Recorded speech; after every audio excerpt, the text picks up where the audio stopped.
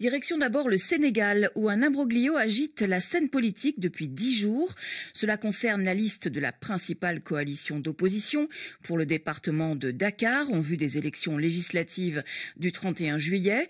On va tenter d'y voir plus clair avec notre correspondante Charlotte Hydrac. Bonjour Charlotte. Bonjour. En ligne également avec nous, Aruna, bonjour. Bonjour euh, Chantal. Vous nous appelez de Kédougou. Aruna, vous avez la parole, on vous écoute. Euh, la liste de Yewi Askanwi et Wallou Sénégal est menacée d'invalidation car euh, elle ne respecte pas les règles de la parité. Ousmane Sonko parle d'une erreur humaine. J'aimerais savoir qu'est-ce qui s'est passé. Première question. Deuxième question, peut-on parler de sabotage?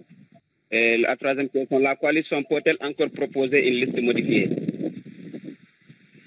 Alors Charlotte, qu'est-ce qui pose problème avec cette liste de la principale coalition euh, d'opposition pour le département de Dakar? Alors d'abord, c'est une liste qui comprend sept noms, hein, avec en tête de liste Barthélémy Diaz, donc le maire de Dakar.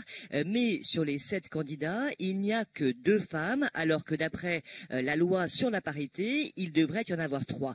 Ce qu'on peut rappeler d'abord, c'est que Yewi Askanoui, qui est déjà une très large coalition de partis et de mouvements, s'est allié juste avant le dépôt des listes avec une autre coalition d'opposition Hein, Aruna le rappelait, c'est Walou Sénégal, euh, formé autour du PDS de l'ancien président Abdoulaye Wade. Et donc, pour confectionner les listes, forcément, il a fallu euh, faire des choix, hein, sachant que chaque parti membre de ces coalitions avait leur candidat à inscrire sur la liste.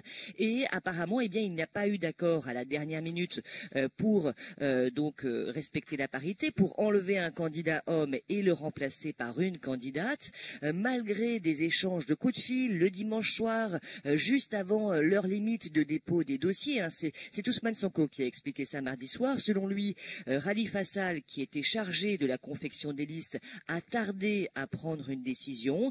Et toujours selon Ousmane Sonko, eh bien, la fatigue et la faim, je cite, ont eu raison du bon jugement des représentants de la coalition. Donc voilà, il a effectivement reconnu une erreur, des négligences. Euh, tout simplement, il n'y a pas eu euh, ni de complot, ni plan de Macky Sall dans cette affaire, selon lui. Alors c'est vrai qu'avant cela, des membres de la coalition avaient évoqué un sabotage en interne. Euh, certains euh, avaient même directement accusé Rali Fassad d'avoir euh, torpillé la liste, mais Ousmane Sonko a assuré que pas du tout, qu'il n'y avait pas de problème avec l'ancien maire de Dakar ni avec Barthélémy Diaz. Et Rali Fassad, lui, ne s'est pas exprimé hein, sur cette affaire. Alors la liste peut-elle encore être modifiée, Charlotte? Bon, les avis ont, divergé hein, ces derniers jours entre experts électoraux euh, sur cette possibilité ou pas. En tout cas, euh, la coalition Yehoui Askanoui a essayé. Euh, lundi, le mandataire de la coalition est allé à la direction générale des élections pour essayer de, faire valoir des, désistements, hein, pour essayer de remplacer un nom d'homme par un nom de femme. Mais selon ce responsable d'Etiefal, la DGE n'a pas voulu. elle s'est déclarée incompétente. Alors, quelles seraient les chances de la coalition Yehoui Askanoui si elle ne peut pas participer aux élections à Dakar? C'est difficile d'anticiper. Le département de Dakar, ça fait déjà euh, sept députés sur un total de 165 sièges à l'Assemblée, euh, sachant que l'opposition avait fait de très bons scores hein, dans la capitale lors des élections locales de janvier dernier, et euh, sachant que l'objectif de la coalition Yehoui Eskanoui, c'est d'imposer une cohabitation au président Macky Sall en juillet.